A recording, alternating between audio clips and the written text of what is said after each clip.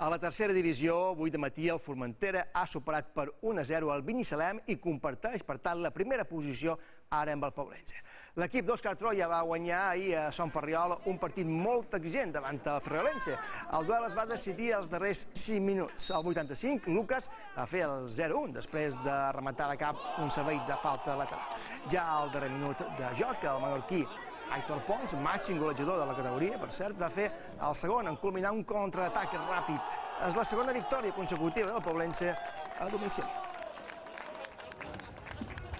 El Poblense ja suma amb un partit manco 5 punts més que la penya esportiva, que va patir una trebalada inesperada a Campos. Malgrat que l'equip de Dani Mori va tenir oportunitats molt clares al primer temps en rematades de Diego Piquero i de Winde, el conjunt de Miqui Arjona es van dur la victòria.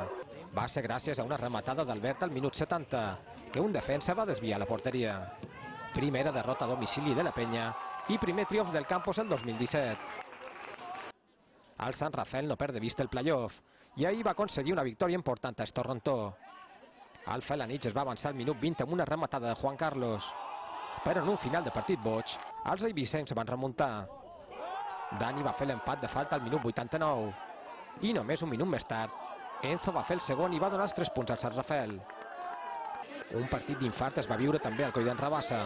Als 35 minuts de lloc, el Collerense ja guanyava per 3 a 0 gràcies a un hat-trick de Donato, que va fer gols des de totes les posicions. David Mas va retallar distàncies abans del descans i Elliot va fer el 3 a 2 de penal, però la victòria va quedar a Palma.